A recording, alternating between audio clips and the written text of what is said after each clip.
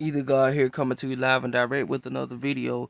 So I'm gonna try to make this video as short as possible, quick as possible. Um, cause I just I just thought about something.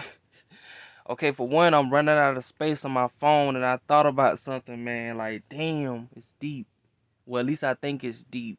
I was learning about, you know, um, I'm on the way of purchasing my two wooded lots of land, right? Small lots or whatever, enough for myself, you know, because I can financially um um pay for them or whatever, right? So I'm learning about countries with it, with my chainsaw, clearing my own land because I'm not trying to pay no seventy five hundred dollars, no thirty five hundred dollars, none of that. So I'm trying to clear my my lots um by myself. One is near me, one is far away. I'm on the way of becoming self-sufficient. So I'm learning, you know, I'm doing what I can financially, you know, uh, with the money that I have and the knowledge that I have. So yeah, um, so as I'm thinking about, oh yeah, while I was running out of space on my phone, I had to clear up some trash, right? Cause you know, think about it in real life, we have trash that we you know, put in a dump or whatever. Then the garbage man they come pick it up and they take it to a landfill for the. I don't, I don't even know what they do with the trash when it goes to the landfill, but I have heard of people. Some people go to the dump and they start scavenging for um old credit cards and stuff like that, and that's how they hack you and stuff like that. Find out where you live and all that type of stuff, right? So I was thinking, since these beings want us online they want us online all the time, right? You know, um, online is the new version of the streets. If they destroy the streets in real life, whether it be natural earthquakes or unnatural earthquakes and stuff like that, destroying the buildings and stuff, um, it's like we still gonna be online. We still gonna be on this internet. We still gonna be using these cameras, these screens, these devices. So I noticed something I'm basically trying to correlate um the trash part. Basically, when you have trash, you have a lot of trash, you take it to the dump. So I'm thinking like, okay, the reason why my phone was still full on space is because I didn't dump my trash online. So I went to my my junk pile on my phone and then I cleared it so I'm sitting here wondering, like, if I'm clearing it, where does the that junk mail go? You see what I'm saying? And I feel like if there's a real life trash dump, there has to be a, a, a online version of that. So all of the photos that we delete, whether it be not explicit, explicit or explicit, right? You think those photos that you took are gone, but they're really just in a junk, a basically a cybernetic or a online junk pile, and that's where, um, what you what would you call it? Um, like cyber hackers and stuff. They go scavenging through your old photos and stuff, and old videos and skits and snippets and stuff like that that you don't so-called clear from your phone I believe that, that that they pick up those things and take them to the dark web or something like that. If you know what I mean, like it's just a thought that I had.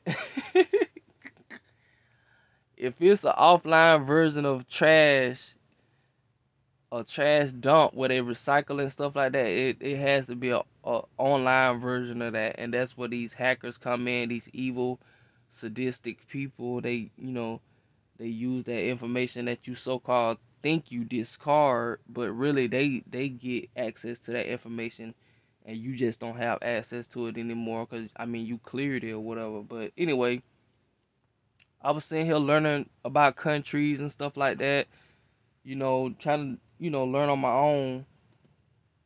And I did not know that it's so much that goes into cutting trees.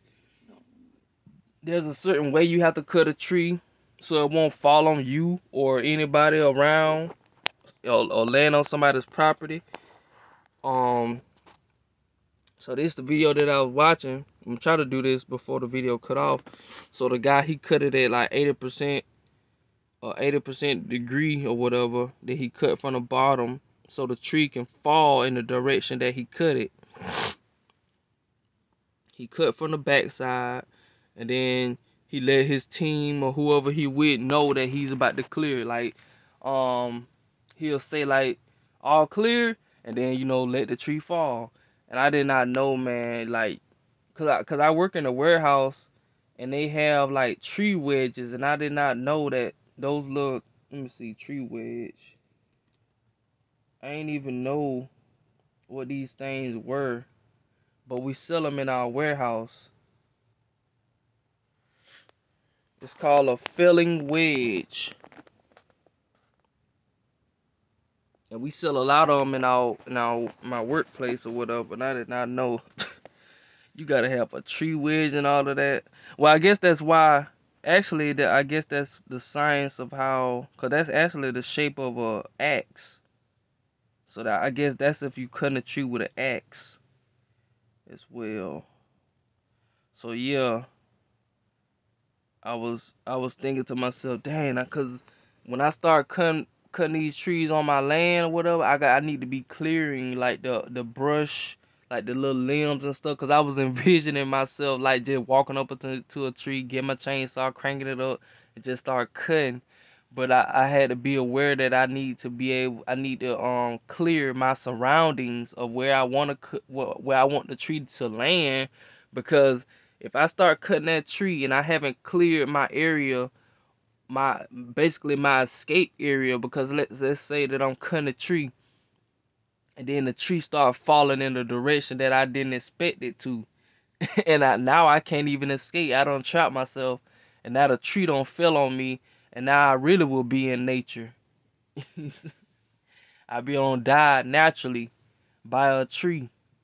You see what I'm saying? So I'm glad I watched this video, this so 45 minutes worth of a video of just cutting a tree. The man got all the equipment, construction helmet, the little mesh mask. So now I'm just researching the different equipment that I may need uh, on cutting while cutting trees. I might buy the earmuffs. Um, I don't know. So I might be hitting up Home Depot. Might be hitting up Home Depot and um probably Harbor Harbor Freighty.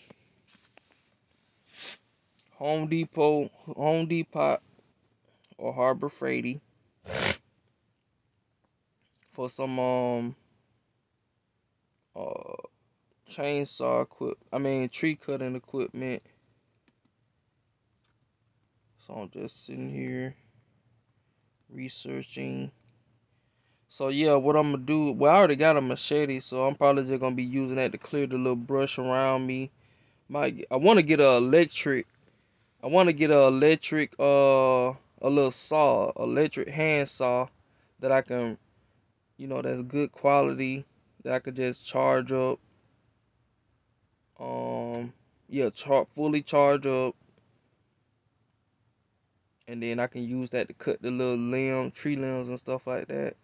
Cause I had did a little brief walking through to basically see the um the elevation of the land or whatever. And it just was a lot of brush everywhere. So that's what I will be doing. Uh, let's see all this equipment over here. I need to get a ladder too. But see the ladders, it's crazy how these ladders so expensive. An extendable ladder,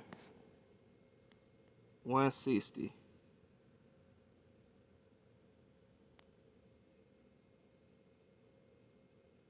Mm, we got a members deal.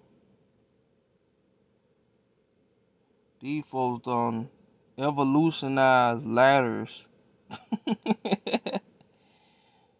ladders used to just be wood. Now these folk got got they got damn Tesla ladders now. They probably got AI installed. Ladder go up, ladder go down. Wow. $160 for a ladder.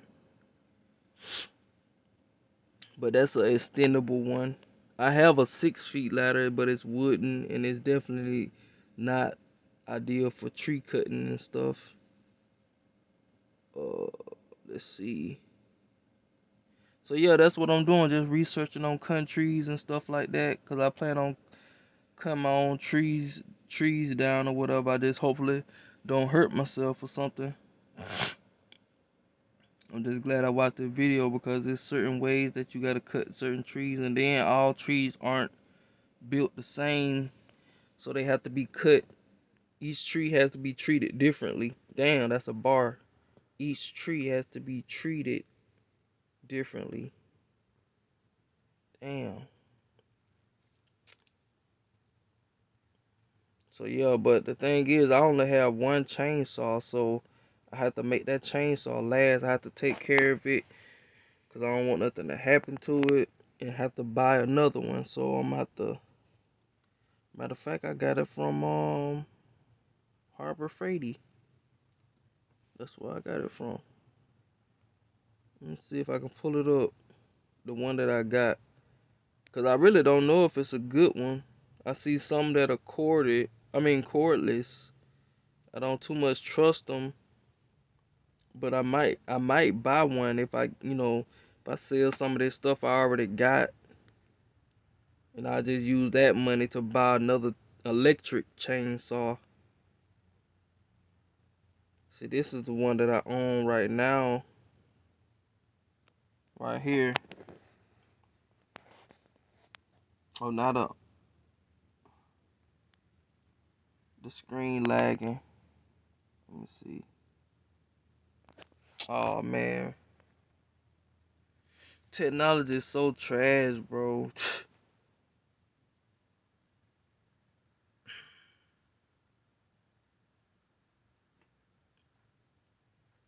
so I believe the screen is frozen.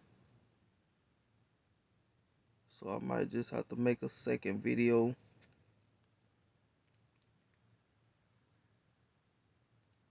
Let me see.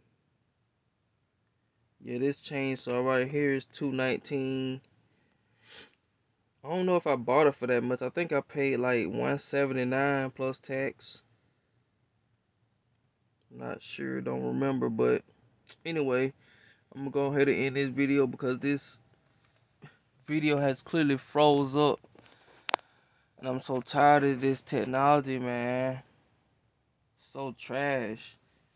Folks talking about putting us on internet and stuff like that, they can't even stop their devices from freezing up. So yeah, with that being said, Eater God signing out. Peace.